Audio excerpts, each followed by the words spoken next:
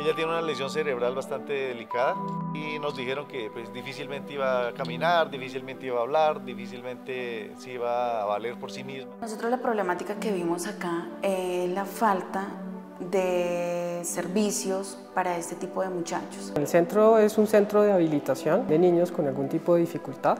Acá se hace un proceso de rehabilitación integral liderados por un médico fisiatra donde estamos un grupo de profesionales Trabajamos con población vulnerable. El Centro de Habilitación para la Primera Infancia es financiado en su totalidad por la Caja de Compensación Familiar de Boyacá.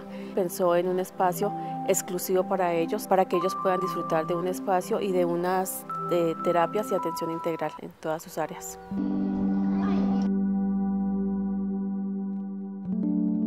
Definitivamente el secreto es la plasticidad del cerebro pequeño, porque es una tierra absolutamente fértil cuando tú intervienes a un niño en el desarrollo de su cerebro, estás generando el futuro de una persona con muchas posibilidades y muchas capacidades.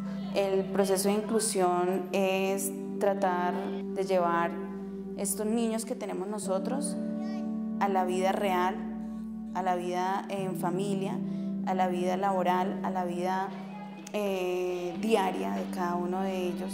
Hay muchos niños que tienen dificultades de habla, motoras que son muy leves y que pasan desapercibidas. Nosotros poder ir, buscar, diagnosticar y decirle a la gente que ese chico requiere algún apoyo es una clave, es un proceso importantísimo que genera un impacto porque cambia radicalmente la, trayectoria de ese niño frente a su proceso de aprendizaje.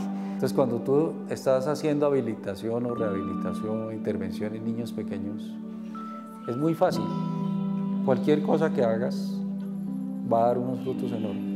Además el niño pequeño explora todo, es un niño súper resiliente que es capaz de luchar, que no tiene todos los traumas que la sociedad le ha impuesto, sino que lucha como cualquier ser vivo de manera inocente. Lo hacemos por medio de actividades lúdicas recreativas, manejo de grupos, manejo personalizado con padres.